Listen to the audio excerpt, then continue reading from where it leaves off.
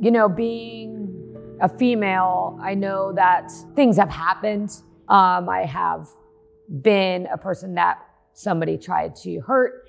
If it wasn't for boxing, I don't know what happened. I don't know if I would have got out of that situation.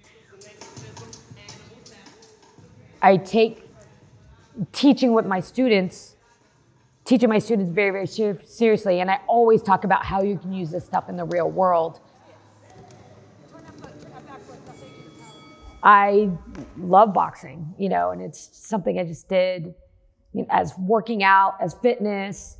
And it kind of morphed into something different after that for me. And so I wanted to help more people. I knew that I can teach more than just boxing. For me, it was more, you know, about teaching people not just boxing, but how you can use that, how you can build that confidence in your lives to become a person that's like almost like self defense.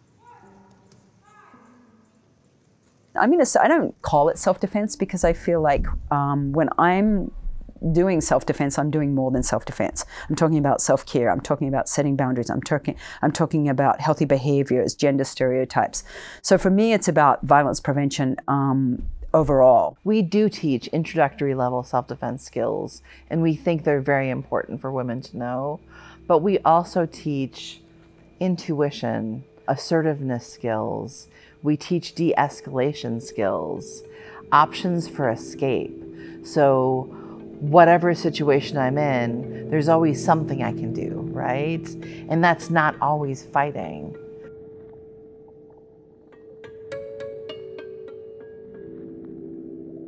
I was attacked by an ex-boyfriend and I was able to quickly even even though he broke my thumb when he attacked me, I didn't think about that because of my training. I was able to get out of that situation very very quickly before something happened. As women, we're more likely to be assaulted by somebody we know 85 to 90% of the time.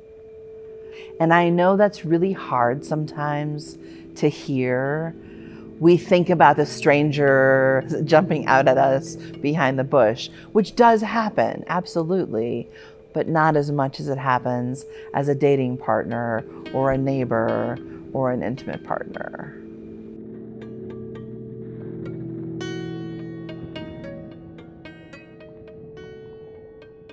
Knowing self defense and knowing what to do and having that confidence, just because you walk a certain way, you do people won't attack you, people won't come after you.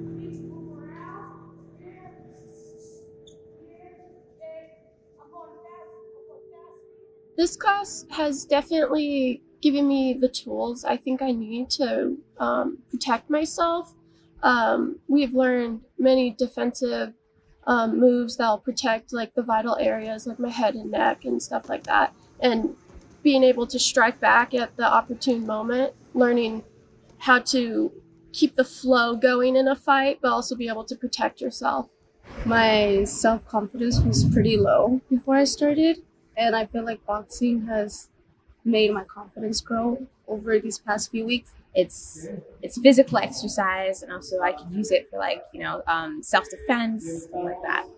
If you get stuck in a domestic violence situation, you need to know how to protect yourself. It's very important, and, and my hope is everybody comes out with that, that knowledge in class. My cousin um, was a victim of domestic violence. The unfortunate incident, it's, it's actually in the news, you can look it up, um, happens on campus. Um, it is, it's hard to talk about because it was very traumatic. Just off campus tonight at the scene of what police are calling a domestic violence homicide. You know, it, it, it sticks with me, it sticks with my whole family. Um, and my goal is can I help a student prevent that? I know that it's prevented something happening to me because I knew how to box. I knew martial arts. How can I translate that into my teaching to the students? I want them to learn more. Oh, this is a fun boxing class. Yes, but you can use this. You can use this so that they don't have to experience what my family has had to deal with and will have to live with the rest of our lives.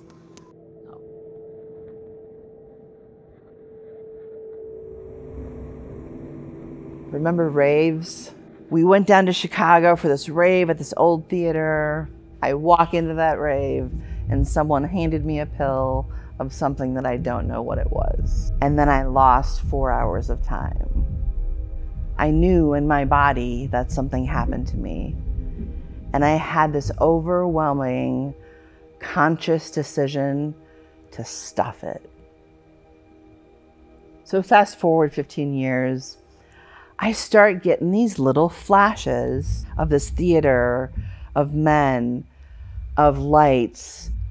I was pinned to the theater seats by five men. There were four knives, one gun, and I was strangled.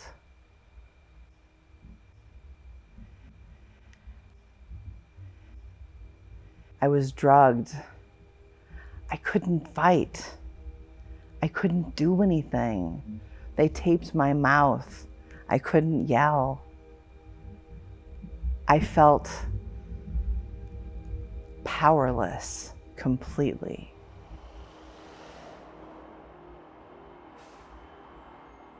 Most people with ill intent, most attackers, abusers, are looking for somebody who appears to be an easy target, right? So if we stand up for ourselves, if we yell, if we fight back, we're bursting their little myth of this complacent victim. So we can negotiate, we can use our assertiveness skills, we are projecting our voices, we have a confident stance. So I'm going to stand up and show you what it looks like to back somebody all the way up. Back up! Leave me alone! I said, leave me alone! Go away! Hey, you in the red shirt! I need help now! So, so Isabel grabs me in a wrist grab escape, right? Hey, you're grabbing me. I don't like it. Let go. Good day, right? So Okay. helping folks feel empowered because you can't give someone empowerment. They, that has to come from the inside. But maybe creating a pathway for them, a, a place where they can they can explore that, what it feels like to be powerful. Be confident in what you're doing, being confident in yourself, being confident you can get out of a situation, and being confident enough not to get in, like maybe it's a relationship. Be confident enough to walk away from an abusive relationship. That's really difficult for people to do, is to walk away from abusive relationships. If you're not taught those tools, you're not going to have the confidence to do that. And like I said, I'm, pro- I'm hoping providing that confidence for students. Can we please stop saying, why doesn't she leave? And can we please start saying, why does he do that? Like, can we not victim blame anymore? And can we put it on the abuser? He's the one doing that. It is on him. Why is that so difficult? Why is it that we, we blame the victim or the survivor for the, the, the sexual violence? Oh, it's what they were wearing, it's what they were drinking, it's where they were. The park is safe. A dark park is safe. It's the perpetrator that's in there that's not safe. you know, the, uh, if you feel that you're superior and the superiority, that there's this weaker person that you need to dominate over, those kind of values, if somebody's taught that, creates violence towards women. It's everybody plays a role in ending violence. Uh, I don't I don't really think it's a man's issue, even though men are the perpetrators of violence, right? Male on male, male on female. It's a small percentage of those men. We have to look at the big picture. We have to look at what's happening at the societal level. We have to look at the institutional level. We have to look at the community, the interpersonal and the personal. And maybe if we taught self defense and the mentality of it and the mentality of abuse in schools at a very young age, that maybe this stuff wouldn't happen. I founded Girls Strength in 2008. And so it's in middle schools. We teach it as an after school program mostly. We talk about healthy relationships. We talk about a lot of assertiveness and boundary setting. And then in 2013, the Girl Strength director at the time, Caroline Haycraft, and I co founded the Boy Strength program. A lot of violence. Okay. All right, 30 more seconds. I'm going to ask someone from this group to maybe. you know, why aren't we teaching these skills to, to boys? But then I'm like, well, no, they need a different set of skills, right? If men are perpetrating the violence um, and our culture is providing, um, giving, sending messages where they feel like it's okay to hurt someone else's body, whether it's male on male or whether it's male on female or, you know, not uh, folks not in the binary. Uh, what do we need to be teaching boys? And so that led to uh, a boys program. So I'm going to start. So I chose martial arts. Uh, martial arts keeps me physically. Organizations like Emerge Safe Now are really important. Um, we educate and promote healthy behaviors. We look at ending gendered violence, right? And that, that can take many forms.